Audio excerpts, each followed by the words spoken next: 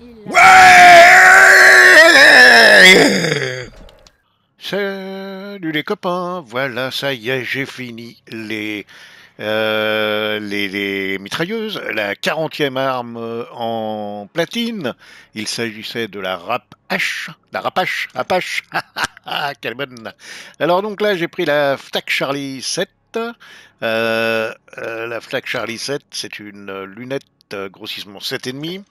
Euh, j'ai pas du tout l'habitude de jouer avec ça, mais bon, ça s'est bien passé. Résistance au tressaillement, visée de loin, bien évidemment.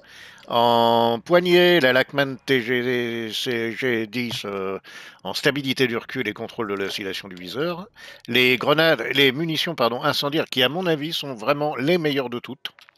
Euh, en ce qui concerne la poignée, la poignée Pineapple me semble être meilleure que la poignée euh, mercenaire, mais bon, euh, chacun ses goûts. J'ai mis donc portée des dégâts, vitesse des balles en ce qui concerne les munitions. Et en ce qui concerne la poignée Pineapple, le, la précision des reculs de tir, quoi, en gros. hein.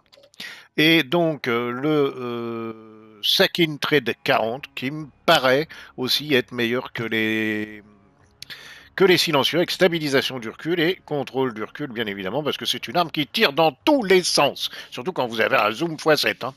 Voilà les copains, donc le petit like, le commentaire, le partage. Et si vous saviez, hein, on va regarder, on va regarder ensemble. Hein, on va regarder, regardez. 40 sur 51, voilà, ça y est, la 40e rugissant, comme on dit. Allez, à plus les copains.